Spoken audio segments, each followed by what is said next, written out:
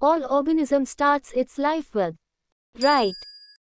The sequence of events by which a cell duplicates its genome, synthesizes the other constituent of cells and eventually divides itself into two. Right. Which of the following is correct about cell cycle? A. All events occur in coordinated manner. B. All events are under genetic control. C. DNA synthesis occurs only during one specific stage in the cell cycle. Right. Cell growth, increase in cytoplasm, is A. Right. Our cell can divide itself once approximately in A. Right. Duration of a cell cycle in yeast is right. M phase in human cell lasts for right. Which of the following is correct about interphase? A. It is the phase present between two successive M phase. B. It lasts for more than 95% in the duration of cell cycle in human cell. Right. Which phase comes in between the G1 and G2 phase of cell cycle? A. M phase. Wrong. G phase is not characterized by A. Continue. Right. S phase is not characterized by A. DNA duplication. B. No increase in chromosome number. C. DNA replication. D. Duplication of centriole in nucleus of eukaryote. Wrong.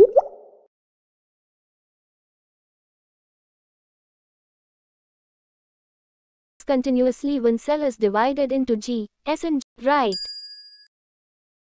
If a cell has 2n number of chromosome in G phase, what is the number of chromosome in cell after S phase? Right. Identify A, B and C in the below diagram. A. A interphase, B telophase, C anaphase. B. A anaphase, B tel. Right. The cells which do not divide enter phase from G1 phase. Right. G0 phase is characterized by A. D and right. Select the incorrect statement from the following. A. In animals, mitotic cell division is only seen in the diploid somatic cells. B. Plants can show mitotic division in both haploid and diploid cells. C. In an adult's heart, the cells does not divide. D. All organisms starts their right. Mitosis and cytoplasmic division function in A. Gamete formation in prokaryotes.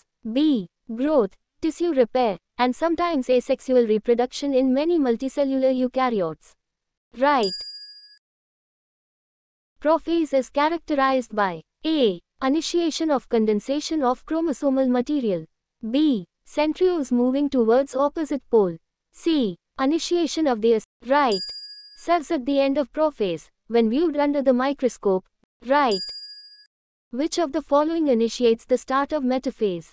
A. Completion of bivalent chromosome formation. B. Assemblage of microtubule. Right. Metaphase is not characterized by A. Complete condensation of chromosome. B. Alignment of chromosome on metaphase plants. C. Attachment of spin. Right. Identify A, B, C and D in the below mitosis diagram. A. Right. Anaphase is characterized by A. Splitting of centromere. B. Separation of chromatids. C. Movement of chromatid to right.